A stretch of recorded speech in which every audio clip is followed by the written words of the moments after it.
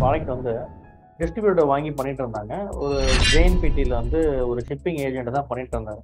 So அந்த shipping agent வந்து இவர் தனியாக எக்ஸ்போர்ட் நம்ம ஃப்ரெண்டு வந்து தனியாக எக்ஸ்போர்ட் பண்ணணும்னு சொல்லி எல்லாம் ட்ரை பண்ணிட்டு இருந்தாரு. அப்புறம் நானும் எல்லாம் இது பண்ணி தான் இப்போ நம்ம கிளாஸ் ஜாயின் பண்ணது. அப்போ அந்த ஷிப்பிங் ஏஜென்ட் இவர்கிட்ட என்ன சொன்னார் அப்படின்னு சொன்னால் நீங்கள் சென்னையிலேருந்து போர்ட்டில் பண்ணுற மாதிரிலாம் கிடையாது. இங்கே மும்பையில் வந்து நிறைய எக்ஸ்போர்ட்டுக்கு வந்து நிறைய டாக்குமெண்ட்ஸ் இருக்குது அவங்க டாக்குமெண்ட்லாம் அக்செப்ட் பண்ண மாட்டாங்க. அதுன்னு சொல்லி அவர் நிறைய குழப்பி விட்டாங்க ஸ்டார்டிங் அதனால அவர்கிட்ட இப்போ டென் லேக்ஸ் தான் ஒரு ஃபைவ் பர்சன்ட் வந்து அவன் கமிஷன் வச்சு அவர்கிட்டயே தான் அவர் கண்டினியூஸாக பண்ணிட்டு இருந்தார். இன்ன வரைக்கும் அவர்கிட்ட தான் பண்ணிட்டு போயிட்டு இருக்கு. அதாவது வந்து சப்ளையரா இருக்காரா?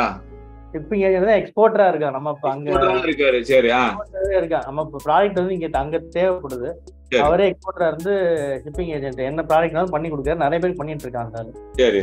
ஸோ இப்போ மேனுஃபேக்சரர் வந்து என்ன சொன்னார் அப்படின்னு சொன்னா நீங்க ஷிப்பிங் ஏஜென்ட்ட போறீங்க. நானே பண்ணி கொடுக்குறேன். உங்கள் எக்ஸ்ட்ரா ப்ராடக்ட் இல்லை என்னென்ன ப்ராடக்ட்னு சொல்லுங்கள் என்னோட ஐம்பது நூறு காட்டனு உங்கள் இது நாற்பது காட்டனையும் சேர்த்து நான் போட்டு கொடுத்துட்றேன் அப்படின்னு சொல்லி புதுசாக போட்டு அவன் எல்லாத்தையும் அவன் பக்கம் எழுதிட்டான் அவனுடைய ரேட்டு கொஞ்சம் இது பண்ணிட்டு இது வந்து மேனுஃபேக்சர் எதனால் பண்ண அதனால் அவருக்கு என்ன லாபம்? நம்மளை வந்து தக்க வச்சுக்கிறதுக்காக அவர் இப்படி பண்ணார். நிறைய யோசிச்சு ஏன் இந்த மாதிரி நமக்கு இது கொடுத்தா அவனுக்கு எக்ஸ்ட்ரா பேர்டன் தானே அது? இந்த பேர்டெல்லாம் அவன் ஏன் ஏற்றுக்கிறான் அப்படிலாம் யோசித்தேன் நீங்க என்ன சார் நினைக்கிறீங்க? ஒன்னே ஒண்ணுதான் சார். சில மேனுஃபேக்சருக்கு பெனிஃபிட்ஸ் இருக்கு. அதுல வந்து மானியம் பெனிஃபிட்ஸ் இருக்கு. இன்னொன்னு ஓன் எக்ஸ்போர்ட்ல டேர்ன் ஓவர் பெனிஃபிட்ஸ் இருக்கு. இன்னொன்னு அவர் இம்போர்ட் பண்றவரா இருந்தாருன்னு வைங்களேன். அவர் சில பார்ட்ட மெட்டீரியல் மெஷின் இம்போர்ட் பண்றவா இருந்தாருன்னு வைங்களேன். அந்த இம்போர்ட்டுக்கான பெனிஃபிட் இருக்கு அவங்களுக்கு எக்ஸ்போர்ட் பண்ணா.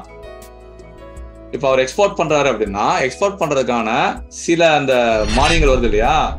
அந்த ரிவார்ட்ஸை விட்டு கொடுத்து இவங்க இம்போர்ட் டியூட்டியை குறைக்கலாம். அப்படி ஆப்ஷன்ஸ் இருக்கு சில விஷயங்கள். மேனுஃபேக்சர் டேரக்ட் எக்ஸ்போர்ட்டர் ஆகுறதுல நிறைய பெனிஃபிட்ஸ் கிடைக்கும் அவங்களுக்கு. அந்த பெனிஃபிட்ஸ் என்ஜாய் பண்றதுக்காக அவர் பண்ணியிருக்காரு அவ்வளவுதான். வேற இல்லை. சரிங்களா?